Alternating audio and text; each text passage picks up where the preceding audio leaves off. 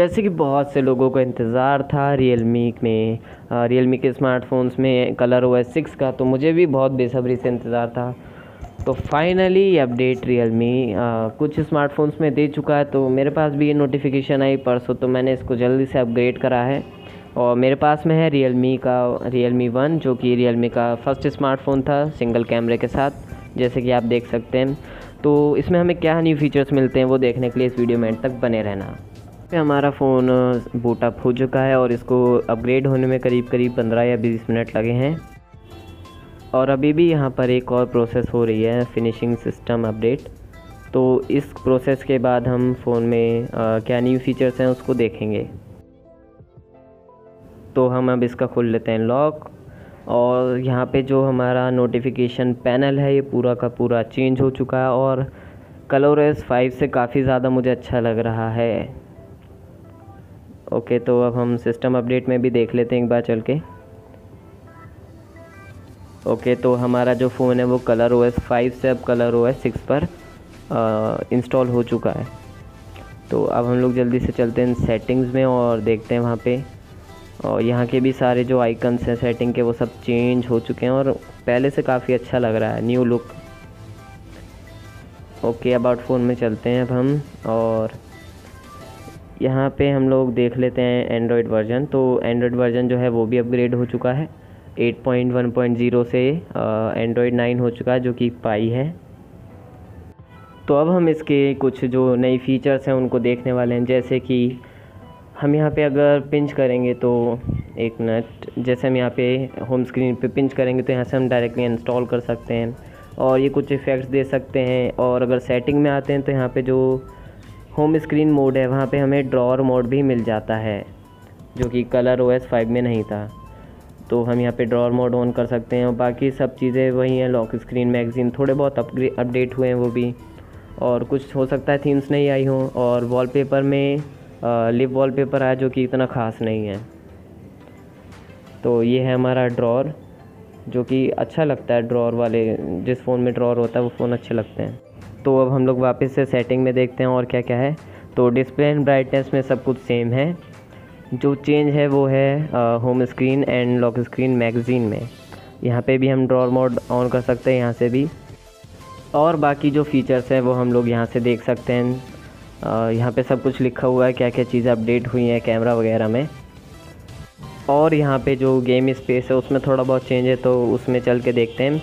यहाँ पे कुछ मोड आए कॉम्पिटिटिव बैलेंस और लो पावर कंजम्पशन तो कॉम्पिटिटिव मोड में होता है कि जो ग्राफिक्स हैं और इमेज क्वालिटी है, वो ज़्यादा बढ़ जाएगी गेम की और पावर कंजम्पशन ज़्यादा होगा बैटरी का। और बैलेंस मोड में सब कुछ बैलेंस रहेगा ग्राफिक्स भी ठीक होंगे और कंजम्पशन भी ठीक होगी। लो पावर कंजम्पशन मोड में होगा कि जो बैटरी होगी, वो काफ़ी बचेगी और इमेज क्वालिटी जो गेम की होगी, वो थोड़ी कम होगी।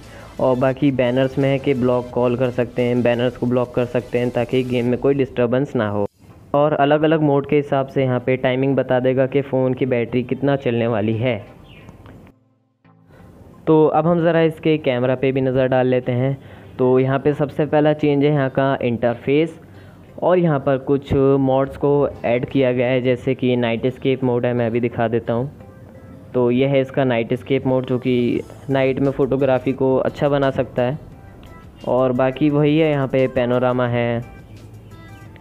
और एक्सपर्ट मोड है तो कुछ रियलमी के डिवाइसेस में जो एक्सपर्ट मोड में अल्ट्रा एचडी मोड होता है, वो हटा दिया गया था कलर ओ एस सिक्स में, लेकिन रियलमी वन में ये अभी भी है। और ये कलर ओ एस फाइव में भी था।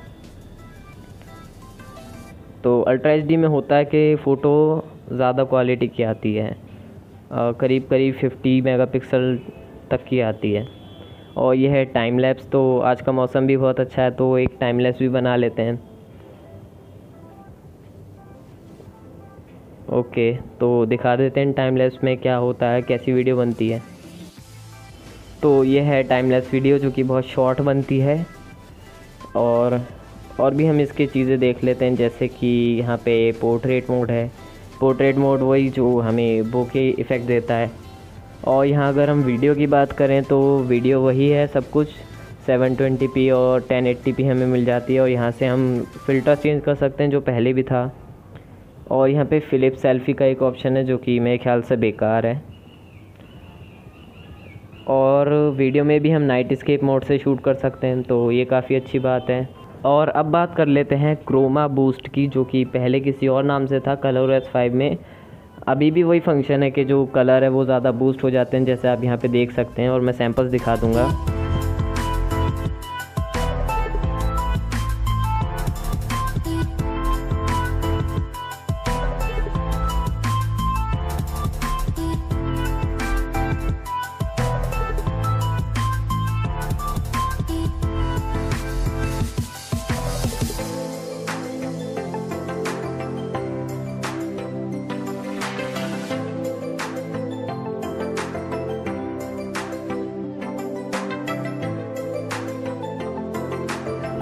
तो बस यही सारे फीचर्स थे जो रियल मी वन में कलर ओ एस सिक्स में अपडेट के बाद आए हैं। तो वीडियो अच्छी लगी हो तो लाइक ज़रूर करना और आपके मोबाइल में, आपके रियल मी डिवाइस में कोई अपडेट आया है कलर ओ एस सिक्स का या नहीं बताना मुझे ज़रूर कमेंट्स में। तो हम लोग मिलते हैं अपनी नेक्स्ट वीडियो में। Bye bye